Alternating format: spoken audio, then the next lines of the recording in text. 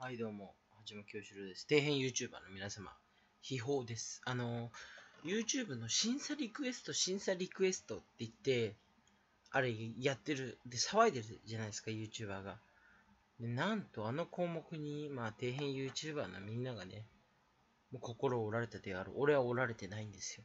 なんで心折られてないかっていうと、トレジャークルーズでね、トレ、トレクル事件ですよ。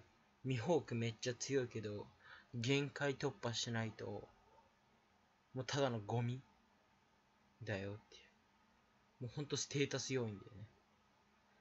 そんなひどいもんをね、俺はつかまされたわけよ。ほんとひでえよ。あと3日以内に俺はあと93万トレジャーポイント稼がなきゃいけないんだぞ。ねそれ。運営厳しすぎでしょ。さすがに。いや、さすがに厳しすぎだよ、それは。ほんとね、で、トレジャーポイント、トレジャーのスタミナって100固定なんですよ。またこれ、気持ち悪いな、トレクル運営がよ。っていう余談で、あのートレジャークルーズのね、話なんですけど、そのね、底辺 YouTuber、その、1週間以内に、えー視聴回数1000回いかないと審査リクエストしてもらえない。いわゆる、じゃあまあ単純計算しますか。電卓で。え、どういうことってなるじゃないですか。まあ、ピッタではないですけど、その1日142、143回整数、1週間の毎日取り続けないと収益には入んないぞっていうことなんです。だから大手 YouTuber だか1000回なんかポンっていけますよ。でも、あの作業がめんどくさいで終わるんですけど、YouTube し、そう、ほんとやり口が汚い。そう、審査リクエストして、ここ主に適してませんよって言ってるんだけど、あれ違くて、単純に金を払いたくないんですよ。金を払いたくないから、底辺 YouTuber には金を払わせないと。っていうやり方うーん、まあ、しょうがないよね。しょうがない。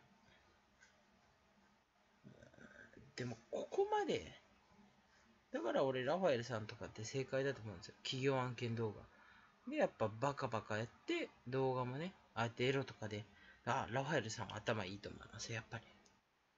うん。で、これからね、もし復帰したら本当に好きなグラップラー系だけやってくると思いますよ。辛いけど。でもみんなが面白いって言ってくれるものを追求してくれると思いますよ。もうね、金は稼ぎ終わったよ、ラファエルさんは。うん。だって、もう稼げねえもん、YouTube。終わったよ、本当に。つって俺何も稼いでねえけどね。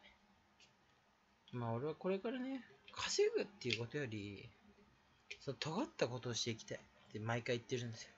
尖ったことって何っていうと、とにかく自己満足ですね。自己満足をしてって人気が出てったらみんなのことも考えようと思います。100万人、1000万人くらいいったらみんなのこと考え始めますよ。感謝はしますけどね、意見は採用しません。感謝はしますけど、耳は傾けませんから。目を傾けてるんですよ、僕は。心を傾けて、ありがとうって口に出してる。3つ、3巻を使ってるんですけど、その、耳は傾けねえよと。偉そうですよね。その、視聴者が見たいものって、よくわかんないけど、自分がやりたいものをやりたい。メントスコーラなんてね、もう今度やろうか迷ってますけど。